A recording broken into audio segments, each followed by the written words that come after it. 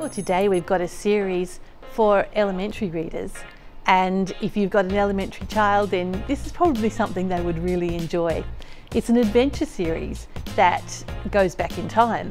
And so they're learning a lot, as well as reading a really fun adventure.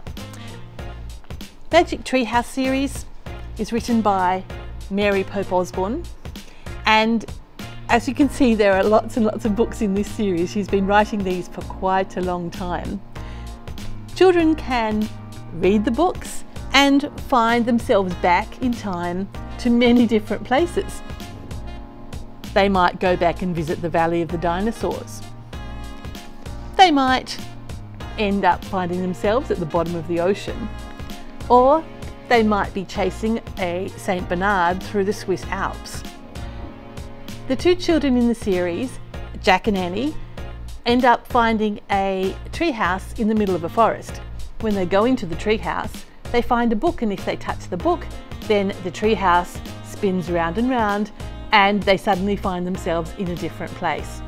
So there are lots of options here of different places to explore, different places for the children to go, and different places for your children to find out about as well.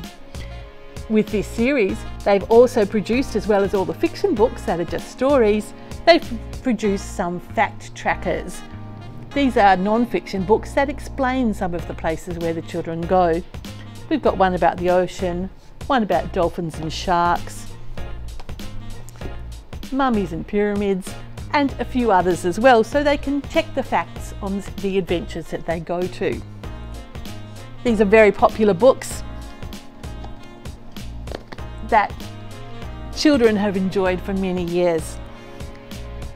I'll read you what they say about them, which is probably more important than what I think about them. I like the Magic Treehouse series. I stay up all night reading them, even on school nights. I think I've read about 25 of your Magic Treehouse books. I'm reading every Magic Treehouse book that I can get my hands on. Another child says, never stop writing and if you can't think about anything to write about, don't worry, because I've got plenty of ideas.